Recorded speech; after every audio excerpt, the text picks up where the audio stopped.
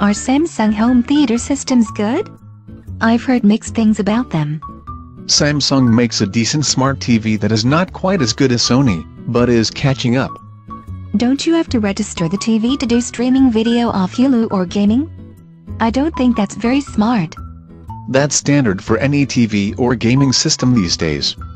And it cannot be worse than the Microsoft Kinect sensors taking infrared images of your living room and sharing them with hackers and the NSA.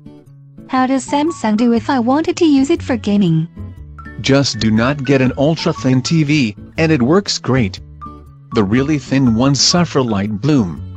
That's worse on the super thin, Sony ones. I think they are competing to be the most anorexic.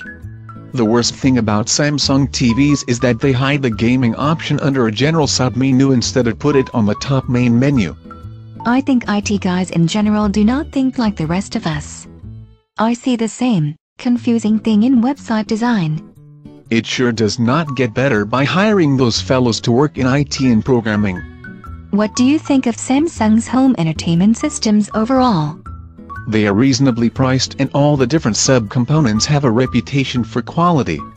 I've heard that there are some problems. Just get devices with enough HDMI connections so it can all talk to each other.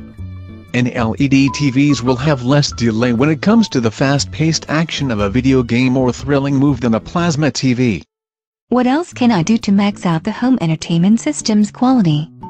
Do not get anything Panasonic.